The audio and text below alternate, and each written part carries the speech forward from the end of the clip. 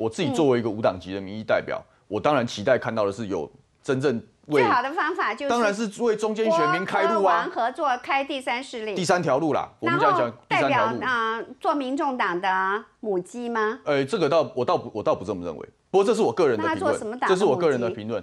我认为郭科之间最好的距离其实是相互祝福，因为我必须要讲哦，总统跟国会是两个战场。什么意思啦？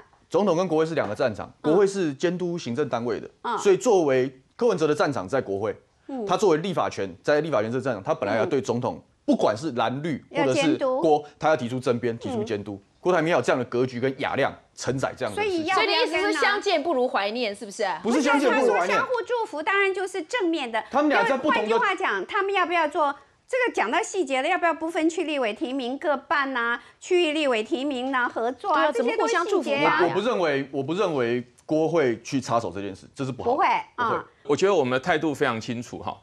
立委选举哈，我们担心的是说，下一次我们现在拥有这些超级多数。的优势，本土派的了哈，我们加民进党可能会不存在，嗯，担心了哈。所以要合作啊。对，要合作。不过现在看韩国瑜情况，搞不好还有一些乐观的机会。我问你，你们的条件所以有一些有一些政策其实是现在就可以做。你没有什么机会，有些政策是现在可以做的。我我会觉得说，比如说我们比较关心，比如最低工资法，啊，好，这是蔡总统选举的时候也讲的哦。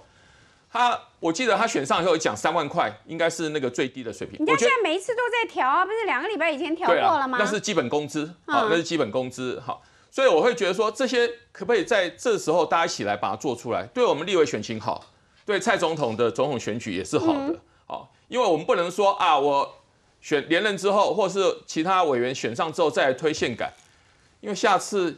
国会要推宪改非常困难啊，现在才是可行的啦。好，所以我会觉得说，我态度是开放的。左主席，我准备好了，什么时候都可以。你要推的证件一定是选民在乎的。好了，我不要，我不想伤害你。不是我选民在乎的，我是问你，你到底是不是真的主席啊？还是黄国昌坐在下面呢？下面有个黄国昌。不用担心了，不用担心你们。时代力量究竟现在谁最主席啊？